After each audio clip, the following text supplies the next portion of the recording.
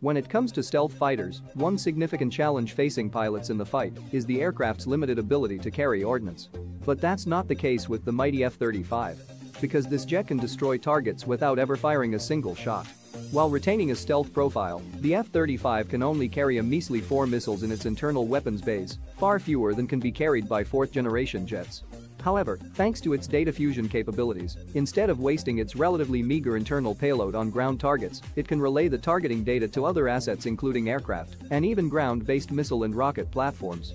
In October of 2018, the U.S. Marine Corps successfully hit a target with a M142 High Mobility Artillery Rocket System, HIMARS, using target data relayed by an F-35 flying high overhead. The ability to utilize weapons systems like the HIMARS in place of its internal payload greatly increases the platform's combat effectiveness while allowing it to retain its stealthy profile.